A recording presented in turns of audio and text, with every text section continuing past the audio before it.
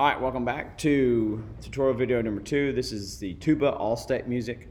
Uh, assignment number one, and this video is going to cover the, the um, etude number two.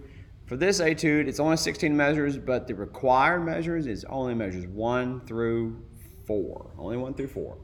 All right, so take a look at the key signature. It uh, has two flats, B flat and E flat, and nothing crazy in the first four measures other than a high D, and an A, second valve A, and a high E flat, and then a low E flat. So nothing too crazy.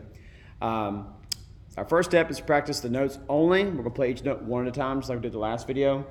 And we're gonna play each note as if they were half notes, okay? So get ready, you're gonna have to make sure you get set for the higher, higher register, get the right valve. Again, if you're not playing with the tuba at home, if you're in zero block, that's great. Uh, I mean, if you're in the practice rooms, that's great. Uh, just use this as a guide to make sure you're getting the right pitches on your horn. All right, here we go. Just the notes only. Each note gets two counts. Ready? One, two, three, ready, set, play.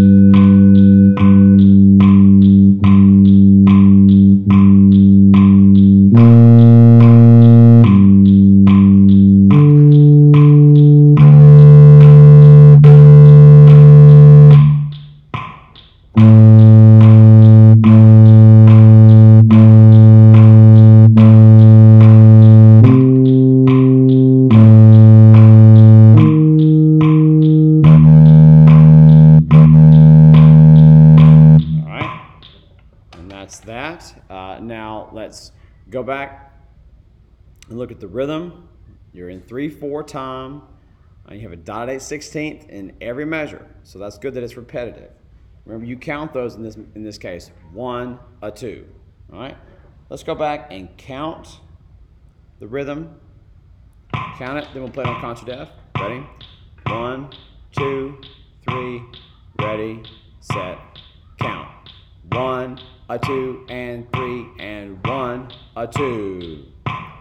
One, a two, and three, and one, a two. Now, let's play on contra F. Ready? One, two, three, ready, set, play.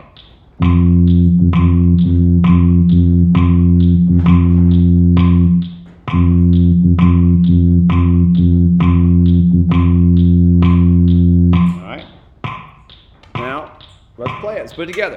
So have your tuba out or have your fingers ready or mouthpiece to buzz along. Feel free to rewind this portion of the video and finger along and then play along with it so you get an idea of what to play for your test. Now, I'm playing on baritone, uh, so it's going to sound an octave higher than what you sound. So make sure you're not trying to match the pitch that I'm playing. Uh, you need to play the instrument in your register, okay? Because if you try to play what I try to match me, you'll be playing an octave too high. So remember, you're, you're going to sound lower than this, all right? But it's the same pitch. Here we go. One, two, three, ready, set. And